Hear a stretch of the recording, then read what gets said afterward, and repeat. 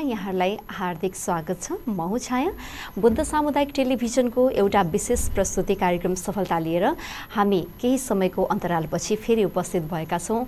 यहाँहरूलाई थाहै छ विश्वभरि कोरोना भाइरस कोभिड उन्नाइसले महामारीको रूप लियो। यो समय एकदमै जटिल पनि रह्यो। त्यो हुनाले हामीले केही समय कार्यक्रम सञ्चालन गर्न सकेनौँ। तर आज फेरि हामी आइसकेका छौँ। अब फेरि कार्यक्रमलाई निरन्तरता दिनेछौँ। कार्यक्रम सफलतामा हामीले कुनै पनि क्षेत्रमा सफलता प्राप्त गर्नुभएका सङ्घर्ष गर्दै आफ्नो जिन्दगीको यात्रामा अगाडि बढ्नुभएका महिला व्यक्तित्वसँग कुराकानी गर्छौँ। यसै क्रममा आज हामी कुराकानी गर्दैछौँ। करिब दुई दशक पत्रकारिता क्षेत्रमा रहेर सङ्घर्ष गरिरहनुभएकी एकजना महिला व्यक्तित्व हुनुहुन्छ। नेपाल पत्रकार महासङ्घ रूपन्देहीकी उपाध्यक्ष अमृता अनमोल। उहाँसँग रहेर हामी आजको श्रृङ्खलामा कुराकानी गर्नेछौँ। उहाँले यो दुई दशकभित्रमा गर्नुभएका सङ्घर्षका कथाहरू के कस्ता भोगाईहरू उहाँले सहनुभयो। के कस्ता हाँसो खुसीहरू रहे यो अवधिभरि? यिनै कुराकानी यिनै विषयमा हामी कुराकानी गर्नेछौँ।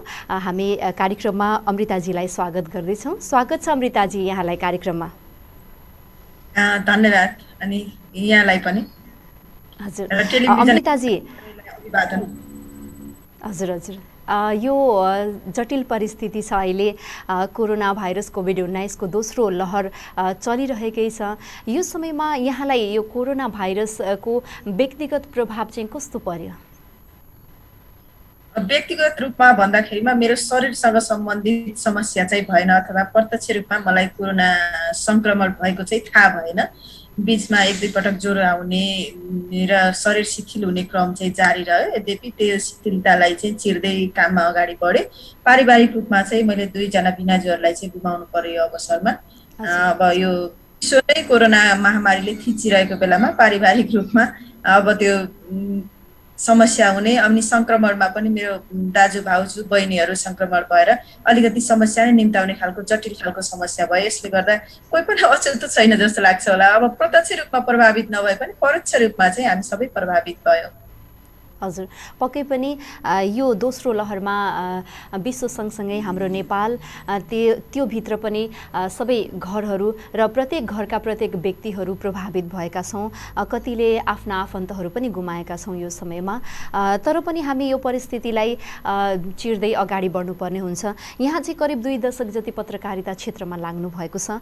यो अवस्थामा कसरी काम गरिरहनु भएको छ अन्य समयमा भन्दा यो समयमा चाहिँ कस्तो छ यहाँको अवस्था? यो कोरोना महामारीको समय भनेको चाहिँ जटिल खालको समय हुने रहेछ। हुन त हामीले चाहिँ सशस्त्र द्वन्द्वको समय पनि बेहोऱ्यौँ।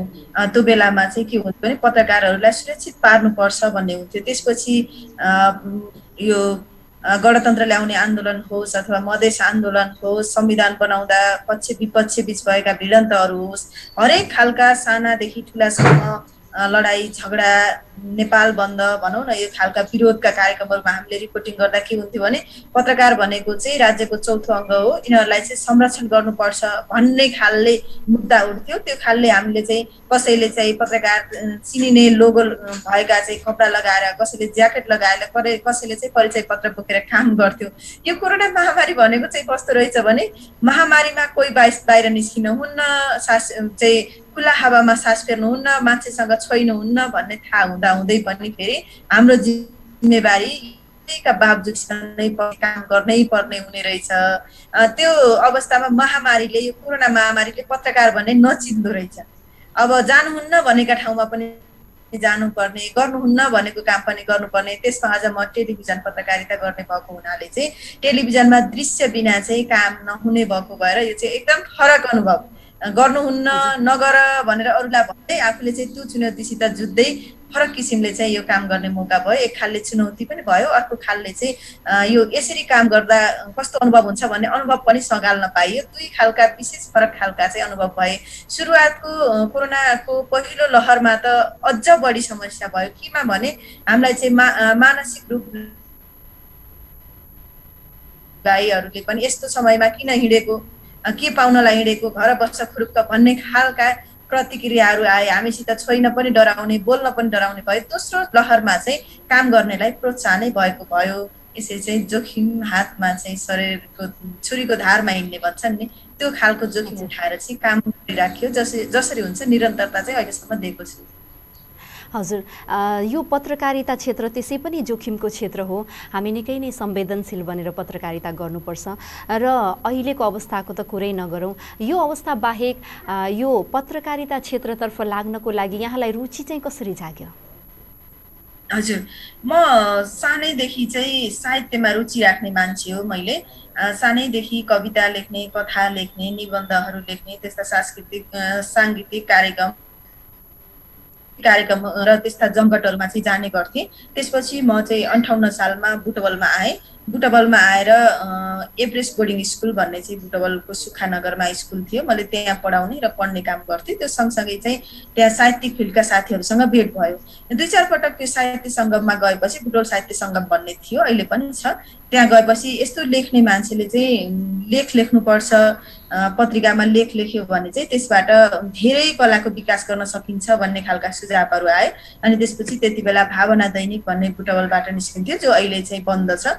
त्यो भावना दैनिकमा मैले चाहिँ लेखहरू लेख्न थालेँ। दुई चारवटा लेख निस्किसकेपछि एनपिआई भन्ने क्षेत्रीय सञ्चार स्रोत केन्द्र भनिन्छ त्यसलाई चाहिँ।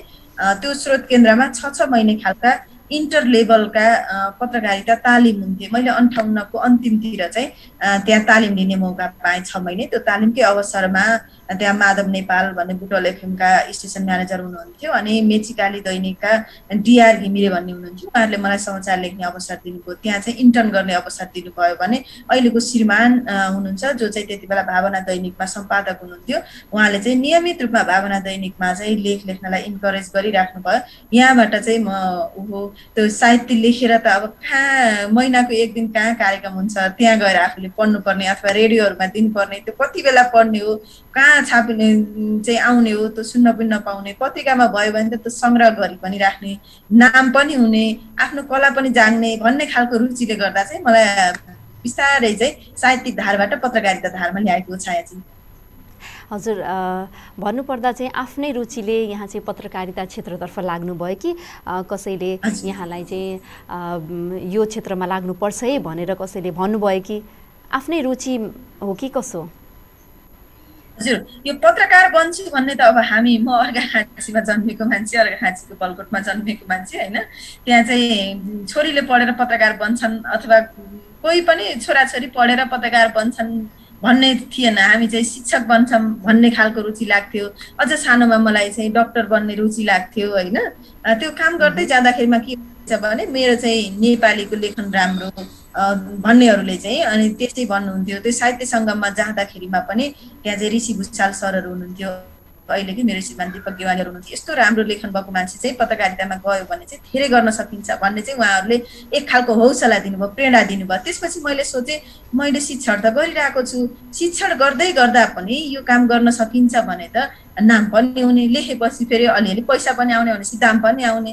नाम पनि आउने दाम पनि आउने काम किन नगर नामदेखि मलाई चाहिँ एकदम रुचि लाग्ने ठुलो महत्त्वका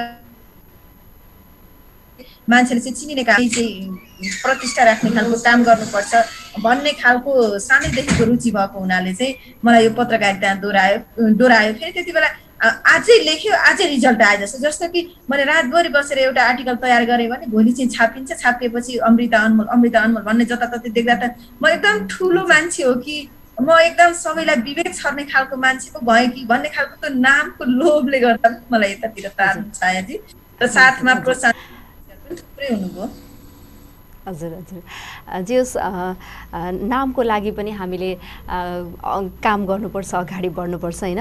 यहाँ चाहिँ गत चैत्रमा सम्पन्न नेपाल पत्रकार महासङ्घ रूपन्देहीको निर्वाचनमा पनि उपाध्यक्ष महिला उपाध्यक्ष पदमा चाहिँ निर्वाचित हुनुभएको छ होइन? धेरै धेरै बधाई पनि भन्न चाहन्छौँ कार्यक्रमको तर्फबाट कार्यक्रम मार्फत पनि। र यो यहाँले चाहिँ सङ्घर्ष गरिरहँदा यो दुई करिब दुई दशकको यात्रामा होइन? यहाँलाई चाहिँ के लाग्छ? एउटा असल पत्रकार बन्नको लागि असल तरिकाले पत्रकारिता गर्नको लागि कस्तो गुण हुनुपर्दछ त? हजुर। अब यो यसमा फरक फरक गुणहरू हुन्छन् होला होइन? सबैले चाहिँ आफूलाई के लाग्छ भने एकदम राम्रो गरेको छु। अरूले मलाई दिएको अर्थी उपदेश चाहिँ यो फगत हो त्यत्तिकै हो भन्ने खालको लाग्न सक्छ।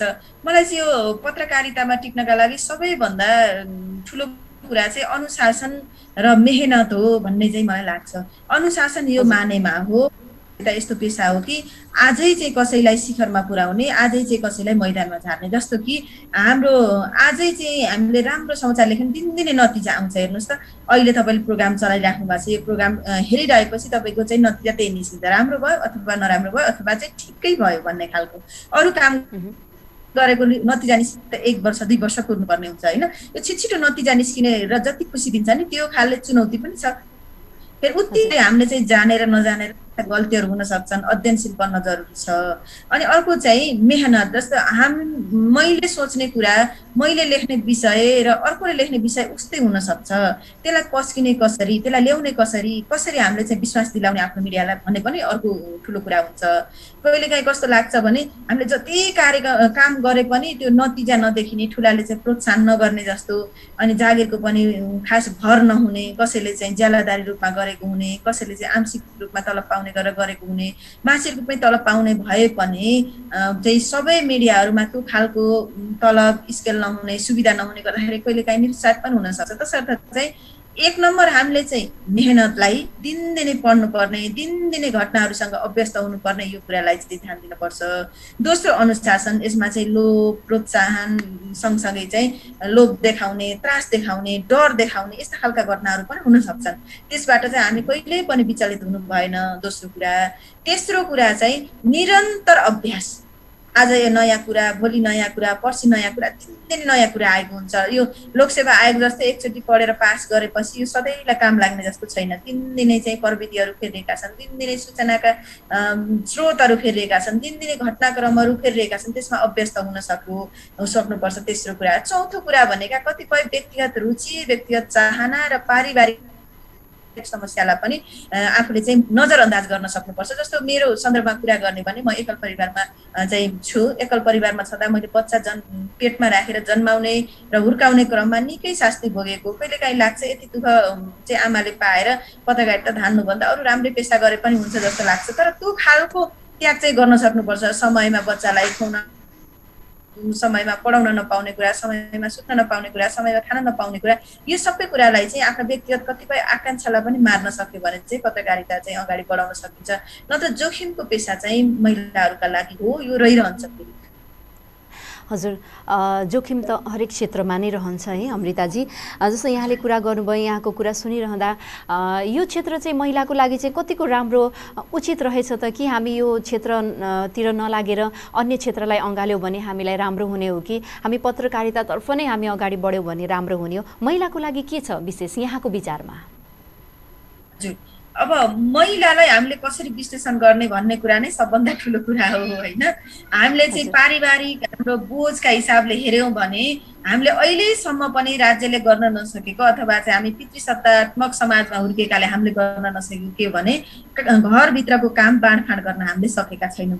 जस्तो बिहान दिउँसो साँझ खाना पकाउने जिम्मेवारी खाना पकाउनका लागि जुटाउने खाना सामग्री जुटाउने कुरा खुवाउने कुरा त्यसपछि घर परिवारलाई स्याहार सुसार गर्ने कुरा त्यो बोझ महिलाहरूमाथि पनि छ। त्यो बोझ सम्हालेर काम गर्दाखेरिमा चाहिँ पत्रकारिता चुनौती हो महिलाका लागि दुःखको पेसा हो होइन? तर फेरि हामी त यस्तो अभियानमा लागेका छौँ कि महिला भएकै कारण अथवा चाहिँ पुरुष भएका कारण यो काम गर्नै पर्छ अथवा यो काम गर्नै हुन्न भनेर चाहिँ हामीले परिवारबाट चाहिँ यस्तो विभेद गर्नुहुन्न यो राज्यले चाहिँ सम्बोधन गर्नुपर्छ भनिसकेपछि चाहिँ शारीरिक दृष्टिकोणले हेर्दाखेरिमा पुरुषभन्दा महिलाको शरीर अलिकति चाहिँ भद्दा खालको हुने हिँड्नलाई शारीरिक सुरक्षा हाम्रो चाहिँ नहुने राति बिहान हिँड्दा द्वन्द्वकारी पुटिङहरू गर्दाखेरि नहुने यो कारणले चाहिँ जोखिम छ महिलाका लागि। पारिवारिक बोध उठाउनु पर्ने भएको कारणले पनि दुःखजिलो छ। यी दुईटा कुरा छोड्ने हो भने फेरि कतिपयमा महिलाका लागि सहज पनि छ। एउटा पहिलो मानेमा त के भने अझै पनि तपाईँ हाम्रा आमाहरू चाहिँ आमा तपाईँको नाम के हो भनेर सोध्नुभयो भने उहाँहरूले के भन्नुहुन्छ भन्दा कि म फल्लाको श्रीमती हो भनेर बुवाको नाम लिनुहुन्छ कि चाहिँ म फल्लाको आमा हो भनेर दाजुभाइको नाम लिनुहुन्छ उहाँको आफ्नो पहिचानै छैन हेर्नुहोस् त। तर पत्रकारिता गर्ने तपाईँ हाम्रो पहिचान भनेको फल्ला भनिसकेपछि चिन्छ त्यस पहिचान दिने नै सबभन्दा ठुलो कुरा हो। त्यसर्थ यो एउटा चाहिँ महिलालाई परिचय दिने पेसा पनि हो। दोस्रो चाहिँ अहिले चाहिँ टेलिभिजन पत्रकारिता आएको छ युट्युबमा चाहिँ अनलाइन पत्रकारिता आएको छ यसमा चाहिँ ग्ल्यामर देखाउने ठाउँ पनि हो। म सुन्दर छु म स्मार्ट छु भनेर देखाउनका लागि स्मार्ट भनेको चाहिँ यो सौन्दर्यसँग जा दाजिने कुरा मात्रै होइन। स्वास्थ्यमा चाहिँ स्मार्ट हुनसक्छ ऊ चाहिँ पोसाकमा स्मार्ट हुनसक्छ उसको बोलीमा स्मार्ट हुनसक्छ कार्यक्रम प्रस्तुतिमा स्मार्ट हुनसक्छ त्यो स्मार्टनेस देखाउने मौका पनि पत्रकारिताले दिन्छ। यो दुईवटा मानेमा चाहिँ पत्रकारिता नाम कमाउनका लागि आफ्नो स्मार्टनेस देखाउनका लागि आफ्नो खुबी प्रत्यक्ष रूपमा देखाउनका लागि महिलाहरूका लागि एकदम बेस्ट छ। तर पारिवारिक भूमिका हामीले अहिले चाहिँ बाँडी नसकेका लागि एकल भूमिका निभाउन पर्नेका लागि चाहिँ अलिकति दुःख पनि छ। तर हामीले यो दुःखलाई बिर्सेर यो सुख सम्झ्यो भने चाहिँ पत्रकारिता महिलाका लागि अवसर पनि हो। हजुर अमृताजी। यहाँले भन्नुभयो होइन पारिवारिक दृष्टिकोणले महिलालाई अलिकति गाह्रो छ भनेर। हामीले चाहिँ यो पारिवारिक जुन कुराहरू हुन्छन् पारिवारिक समस्याहरू हुन्छन् यिनीहरूलाई हटाउन यिनीहरूलाई चिर्नको लागि हामीले चाहिँ खास के गर्दा ठिक होला? हामी त धेरै कार्यक्रमहरूमा जान्छौँ हामीले मात्रै ती ज्ञान गुणका कुराहरू लिन्छौँ होइन। तर पनि हामीले मात्रै लिएर त्यो काम चल्दैन। हामीले चाहिँ आफ्नो घरको सदस्यहरूलाई ल हजुरले यो काम गर्नुपर्छ। मैले गर्दिनँ भनेर त्यसरी भन्न पनि मिल्ने अवस्था रहेन होइन? यो सन्दर्भमा यहाँले चाहिँ के भन्न चाहनुहुन्छ? यहाँको चाहिँ विगत दुई दशकको अनुभवले चाहिँ बताएको कुरा हामीलाई जानकारी दिनुहोस् न। मलाई के लाग्छ भने छाजी जहिलेसम्म महिलाका मुद्दा महिलाका मात्रै हुन् भनेर हामी महिलाहरूलाई मात्र भेला गर्छौँ महिलाहरू मात्र जम्मा भएर कुरा गर्छौँ तबसम्म चाहिँ यो परिवर्तन सम्भव छैन। होइन? यो महिलाको मुद्दा भनेको पुरुषको पनि मुद्दा हो। लैङ्गिक मुद्दा भनेको महिलाका लागि पनि हुनसक्छ पुरुषका लागि पनि हुनसक्छ होइन? पारिवारिक जिम्मेवारी भनेको पुरुषले महिलालाई सहयोग गर्नुहोस् घरमा होइन घरको जिम्मेवारी पुरा गर्नुहोस् भन्ने किसिमले हुनु पर्यो होइन? हो त्यो खाले आउनका लागि यो लैङ्गिक हिंसा विरुद्धका अभियानमा महिला अधिकारका अभियानमा समानताका अभियानमा महिला पुरुष दुइटै हिँड्नुपर्छ। यो महिला र पुरुष दुइटै हिँडेर अपनत्व महसुस गर्यो भने किनकि हामीले त भोगेका छौँ नि त। भोगेकोलाई जस्तो त थाहा कस्तो हुन्छ र। त जसले चाहिँ मैले यो व्यवहार गर्दा महिलाहरूलाई समस्या हुने रहेछ पारिवारिक रूपमा समस्या हुने रहेछ महिलाको वृद्धि विकासमा चाहिँ समस्या हुने रहेछ भन्ने बुझ्नका लागि महिला हिंसा विरुद्धका अभियान महिला अधिकार स्थापित गर्ने अभियान लैङ्गिक समानताका अभियानमा पुरुषहरूलाई पनि सहभागी गराउनु पर्नेछ। यो महिलाहरूको मात्रै मुद्दा होइन यो चाहिँ मानवताको मुद्दा हो मानव समुदायको मुद्दा हो समाजको मुद्दा हो राष्ट्रको मुद्दा हो भनेर यसरी सम्बोधन गर्नुपर्छ। अर्को कुरा चाहिँ घरको कामको चाहिँ बाँडफाँड हुनपर्छ। घरको कामको बाँडफाँड गर्नका लागि यो समाजले अथवा राज्यले निर्धारण गरेर मात्र हुन तपाईँ हाम्रो हातमा पनि हुनसक्छ। जस्तो हामीले बच्चा हुर्काउने क्रममा पनि अब कसलाई के जिम्मेवारी दिने भनेर छोरा र छोरीलाई फरक खालको जिम्मेवारी नदेऊ जो चाहिँ विवाह गरेर पहिलोचोटि घरमा जान्छ र सम्बन्ध बनाउँदै गर्छ श्रीमान श्रीमती बिच चाहिँ समकक्षीको चाहिँ समानताको सम्बन्ध भयो भने एउटाले खाना पकाउन सक्ला एउटाले भाँडा बाँध्न सक्ला जसको फुर्सद हुन्छ उसले काम गर्ला एउटाले जागिर गरे अर्कोले घर हेर्न सक्ला महिलाले राम्रो काम गरेर पुरुषले घर हेर्न पनि हुन्छ। पुरुषले राम्रो काम गरेर महिलाले घर हेर्न पनि सक्छ। यो चाहिँ सहकार्यको कुरा हो। हामी दुई बिचको सम्बन्धको कुरा हो। भन्ने किसिमले कुरा लैजानुपर्छ। यसलाई चाहिँ पुरुषहरूलाई पनि अभियानमा सहभागी गरायो भने चाहिँ यस्ता प्रक्रियाहरू घट्दै जान्छन् भन्ने चाहिँ मलाई लाग्छ छायाजी। हजुर। पक्कै पनि यो पहिलाको तुलनामा अहिलेको अवस्थामा धेरै परिवर्तन आइसकेको छ। यो काम महिलाले मात्रै गर्ने भनेर महिलाले मात्रै गर्नुपर्ने त्यो अवस्था पनि रहेको छैन। धेरै परिवर्तन भइसकेको छ। यहाँ चाहिँ यसरी पत्रकारिता गरिरहँदा सङ्घर्ष गरिरहँदा होइन समाजमा यहाँलाई हेर्ने दृष्टिकोण जुन पहिले समाजले कसरी हेर्थे र अहिले कसरी हेरिरहेका छन् यो पनि बताइदिनुहोस् न। योको यसको मूल्याङ्कन मैले गर्नु भन्दा पनि अरूले मूल्याङ्कन गर्ने कुरा हुन्छ होइन? मलाई यसरी हेरेका छन् भन्ने चाहिँ खासमा आफैले आफ्नो मूल्याङ्कन सो मूल्याङ्कन कतिको मिल्छ? मैले आफूले आफूलाई मूल्याङ्कन गर्दा अथवा अरूको नजरमा पनि कहिले काहीँ त पढिन्छ नि आफूलाई। यसअघि चाहिँ पत्रकारितामा नलागेको भए म पनि कसैको श्रीमती कसैको चाहिँ आमामा मात्रै मेरो परिचय सीमित हुन्थ्यो होइन? मैले यो पत्रकारिता गरेकै कारण चाहिँ म अहिले अमृता अनमोल। मेरो घरको थर पनि छैन माइतको थर पनि छैन। म आफ्नै नाम आफ्नै चाहिँ थरले चाहिँ म परिचित हुन पाएको छु। यो पत्रकारिताले दिएको सबभन्दा ठुलो उपहार हो। दोस्रो भनेको चाहिँ आफ्नो कामको निर्णय गर्न सक्ने आफ्नो परिवारको निर्णय गर्न सक्ने त्यो खुबी चाहिँ मैले बनाएको छु। त्यो पनि मलाई पत्रकारिताले दिएको छ। नत्र भने म अथवा डक्टरै बन्ने मेरो चाहना थियो डक्टरै भइदिएको भए पनि मलाई चाहिँ शिक्षक बन्ने चाहना मैले शिक्षण पेसा गरि पनि रहेको थिएँ त्यो मात्रै बनेको भए। अथवा मैले चाहिँ यो समाज परिवर्तनका लागि गैर सरकारी सङ्घ संस्थाहरूसँग आबद्ध भएर कार्यक्रम गर्न पनि रुचाउने मान्छे। त्यो मात्रै गरेको भए पनि मैले यस्तो पहिचान बनाउन सक्ने थिइनँ। त्यो चाहिँ समाजमा यसले गर्न सक्छ यसको खुबी छ भनेर देखाउने मौका पनि। अझ हामी चाहिँ टेलिभिजनमा काम गर्ने होइन तपाईँ हामी भनेको अहिले भर्खरै बोल्दै गर्दा पनि कसैले चाहिँ हाम्रो मूल्याङ्कन गरिराख्नु भएको छ। आफ्नो अनुहार देखाएर आफ्नो बोली बेचेर आफ्नो चाहिँ दिमाग बेचेर आफ्नो चाहिँ खुबी देखाएर दिनदिनै परीक्षा पास हुनु भनेको यो चाहिँ सबभन्दा ठुलो पत्रकारिताबाट गरेको राम्रो काम हो। त्यो नजर हो भन्ने चाहिँ मलाई लाग्छ। हजुर फेरि मैले जोड्न चाहेँ यहाँले पत्रकारिता गर्दाको पहिलाको अवस्था कसरी काम गर्नुहुन्थ्यो? अहिलेभन्दा त पहिलेको तुलनामा अहिलेको तुलनामा पहिला निकै जटिल थियो काम गर्न होइन? अहिले कस्तो छ? पहिले र अहिलेलाई कसरी यहाँले चाहिँ तुलना गर्न चाहनुहुन्छ? हजुर पहिले र अहिलेमा पक्कै पनि फरक छ। जस्तै प्रविधिको विकास नै पहिले र अहिलेमा चाहिँ एउटा फरक ल्याउने ठुलो काम हो। जस्तो कि अब मैले पत्रकारिता सुरु गर्दाखेरिमा लेखेर कागज कापीमा चाहिँ लेख्ने लेखेपछि चाहिँ त्यो फ्याक्स गरेर पठाउनु पर्थ्यो। राम्रो अक्षरमा लेख फ्याक्स गरेर पठाउने। अनि त्यो मिडियाले चाहिँ टाइप गरेर छाप्ने भने छाप्ने पढ्ने भने पढ्ने गर्नु पर्थ्यो होइन? त्यो अलिक जटिलता आफ्नोमा चाहिँ फ्याक्स नहुने लेख्यो लेख्यो लेख्यो लेख्दा लेख्दै अबेला हुने कहिले काहीँ चाहिँ पसल नपाइने कहिले चाहिँ त्यही पठाउनका लागि पनि पैसा नहुने होइन? त्यो अनि मेसिन बिग्रियो भनेर चाहिँ समस्या हुने त्यो खालको समस्या थियो। अनि मैले पत्रकारिता सुरु गर्दाखेरिमा यो डिजिटल क्यामेरा पनि आएको थिएन।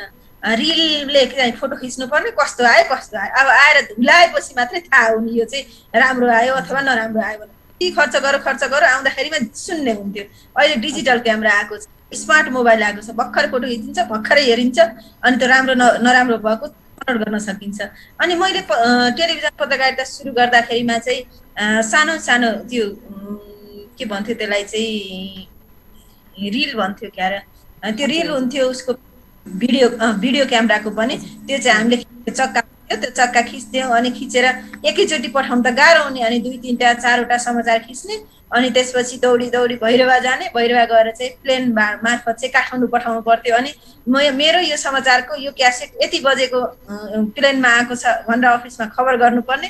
त्यो रिसिभ भयो भने ठिक समयमा हाम्रा समाचार बस्थे नत्र बस्दैन थियो त्यो त्यो त्यसरी हामीले चाहिँ पत्रकारिता सुरु गरेको। अहिले त हेर्नुहोस् त अब हामी जान नसकेको ठाउँमा यी तपाईँ र म चाहिँ अहिले चाहिँ जुमको माध्यमबाट बोलिरहेको छौँ। म अहिले काठमाडौँमा छु तपाईँ बुटलमा हुनुहुन्छ। तर हामी चाहिँ एकदम आम्ने सामने जस्तो गरेर काम गरेका छौँ भने हामी टेलिभिजन पत्रकारिता गर्दा पनि यसै किसिमले गर्न पाइएको छ। अनि आवाज रेकर्ड गर्नको लागि रेडियो स्टेसनहरूमा जानु पर्थ्यो। अहिले चाहिँ हाम्रा आवाज चाहिँ आफ्ना हात हातका स्मार्ट मोबाइलबाट भएको छ। फोटो स्मार्ट मोबाइलबाट भएको छ भिजुअल स्मार्ट मोबाइलबाट भएको छ फोन सम्पर्कबाट हामीले सूचनाहरू ल्याउन सकेका छौँ। सामाजिक सञ्जालहरूले उत्तिकै सहयोग गरेको छ यो प्रविधिको विकासले गर्दा पत्रकारितालाई सजिलो बनाएको छ। तर सँगसँगै के गरेको छ भने चुनौती पनि दिएको छ। जस्तो कि पहिले चाहिँ चौबिस घन्टासम्म कहिले काहीँ दुई तिन दिनसम्म पनि मलाई समाचार कार्यक्रममा गएको भोलि लेख्छु पर्सि लेख्छु भन्दै हामी बस्थ्यौँ। अहिले त्यो समय छैन। सामाजिक सञ्जालमा उत्तिखेर समाचार चाहिँ आउने गर्छन्। त्यसले गर्दाखेरि हाम्रा समाचार पुरा पुराना हुन्छन्। छिन छिनमा मिनट मिनटमा सेकेन्ड सेकेन्डमा समाचार चाहिँ बदलिन्छन्। त्यो अपलोड गर्नुपर्ने छिटो काम गर्नुपर्ने चाहिँ बनाएको छ यो प्रविधिले। अलिकति प्रविधि आफूसँग भएन भने जस्तै सवारी साधन नै भएन होला अथवा आफूसित ल्यापटप भएन मोबाइल भएन ठाउँको ठाउँ हामीले समाचार लेख्न सकिएन भने त्यो पछाडि पर्ने चुनौती पनि छ। यसले गर्दा एकातिर प्रविधिले सजिलो गराएको छ। अर्कोतिर प्रविधिले अहिले पहिलाभन्दा चाहिँ धेरै छिटो काम गर्नुपर्ने धेरै चुस्त काम गर्नुपर्ने धेरै सूचनामा चाहिँ अपडेट हुनुपर्ने यस्तो खालको चाहिँ भार भनौँ न एक खालको चुनौती पनि थपिदिएको छ छायादी म चाहिँ यसरी हेर्छु। हजुर हजुर। यो सहजता सँगसँगै चुनौतीहरू पनि छन्। पहिलेदेखि चुनौतीहरूलाई चिर्दै यहाँ सङ्घर्ष गर्दै अगाडि बढ्नु भएको छ। भने अब त यहाँलाई सहज हुन्छ होइन? त्यो समस्या हुन्छ भन्नेमा कुनै दुई मात्रै छैन। यहाँ चाहिँ अगाडि बढ्दै जानुभएको छ। अझै पनि अगाडि बढ्दै जानुहोला। यसै बिचमा यहाँ एउटा कुरा जोड्न चाहन्छु। यहाँ चाहिँ पत्रकार महिला हुनुहुन्छ। धेरै समयको अनुभव पनि छ। र यो अनुभव रहँदा यहाँ चाहिँ गत चैत्रमा सम्पन्न नेपाल पत्रकार महासङ्घ रूपन्देहीको निर्वाचनमा पनि महिला उपाध्यक्ष जस्तो गरिमामय पदमा निर्वाचित हुनुभएको छ होइन यो भइरहँदा यो महिला पत्रकार महिलाको अवस्था चाहिँ कस्तो देख्नुभयो यहाँले? हेर्नु पत्रकार महिलाको अवस्था भनेको यो कति सारङ्गी जति रेट्यो उसको चाहिँ त्यो दुःखको भाव आउँछ कि त्यसमा सारङ्गी चाहिँ रोए जस्तो सुनिन्छ होइन? कति कि रोए जस्तो भने जस्तै।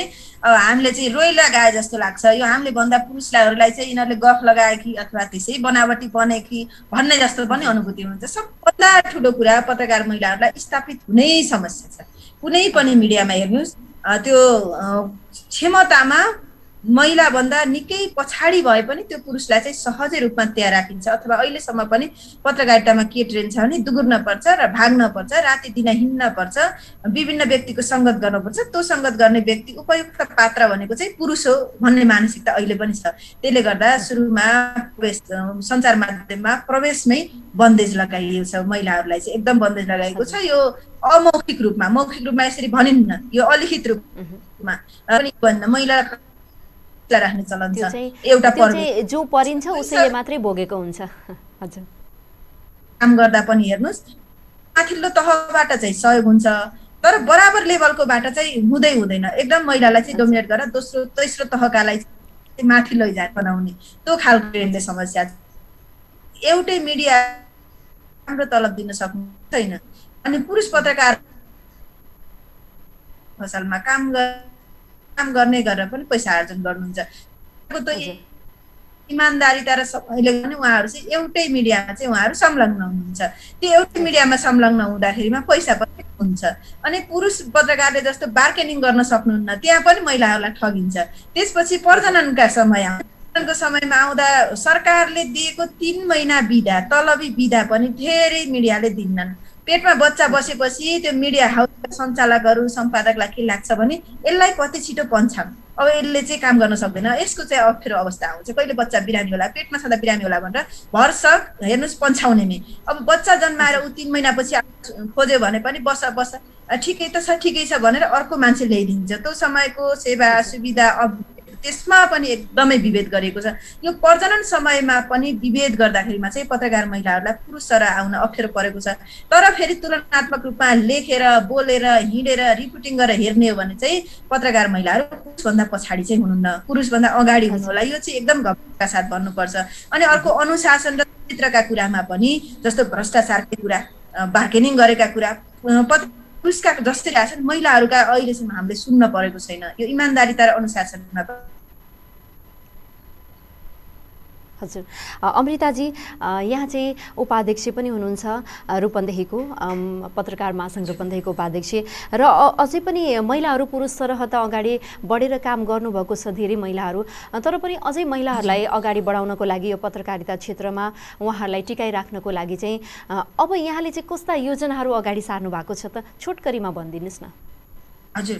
सबैभन्दा ठुलो कुरा चाहिँ पत्रकारिता टिकाउनका लागि विषयगत क्षमतागत तालिमै जरुरी छ। किनकि अरूमा जस्तै एकपटक पढेर यसमा चाहिँ काम लाग्दैन। निरन्तर चाहिँ विषयगत तालिम चाहिन्छ। यो विषयगत तालिममा चाहिँ मैले एकदमै ध्यान दिने दिनेछु। अहिले प्रदेश सरकारदेखि स्थानीय तहहरूले कार्यक्रम बनाउँदैछन्। मैले उहाँहरूबाट सहयोग र सपोर्टका कार्यक्रम ल्याउनका लागि पनि पहल गरेको छु। दोस्रो भनेको चाहिँ सञ्चारमा माध्यममा कसरी स्थापित गर्ने? सञ्चार माध्यमलाई कसरी लैङ्गिक मैत्री गराउने? अघि मैले भने जस्तै प्रजनन समस्यामा चाहिँ पत्रकार महिलाहरू निस्किने वातावरण नबनोस्। यसका लागि चाहिँ सबै सञ्चार माध्यममा चाहिँ लैङ्गिक मैत्री नीति कायम गराउनका लागि मैले पहल गर्नेछु।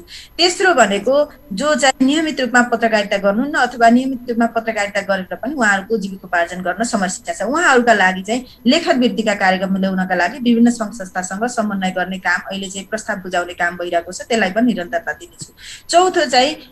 एक मिडियामा एक नेतृत्व तहमा महिला पुग्नुपर्छ समाचारको चाहिँ सम्पादक भएन भने सह सम्पादक हुन सक्छ प्रमुख भएन भने उपप्रमुख हुन सक्छ। यसो गरेर चाहिँ उसमै रेडियोको कुरा गर्ने भने स्टेसन म्यानेजर भएन भने सहायक स्टेसन म्यानेजर हुन सक्छ। यसरी कि पोस्टमा पत्रकार महिलाहरूलाई कसरी लिएर आउने भन्ने त्यो बारेमा पनि सञ्चालकहरूसँग छलफल गर्नेछु। त्यसपछि जो चाहिँ नवप्रवेशी पत्रकार महिलाहरू हुनुहुन्छ उहाँहरूलाई सङ्गठित गर्ने सूचनामा पहुँच पुर्याउने स्रोतसँग भेट गराउने यस्ता खालका कार्यक्रम चाहिँ ल्याउनेछु र अर्को मलाई एकदमै मनमा खड्केको भनेको रूपन्देही पत्रकार महासङ्घमा प्रोत्साहन गर्ने खालका थुप्रै कार्यक्रम छन्।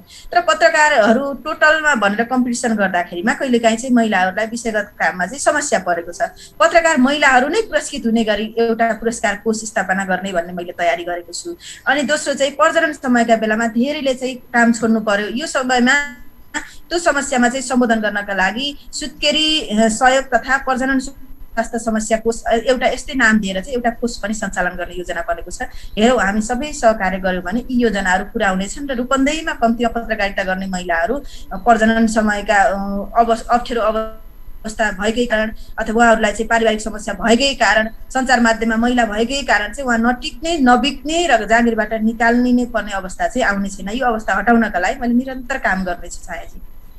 हजुर पक्कै पनि यहाँ चाहिँ जुन ठाउँमा हुनुहुन्छ त्यो ठाउँमा रहेर पत्रकार महिलाका लागि विशेष किसिमका योजनाका साथ अगाडि बढ्नुहोला।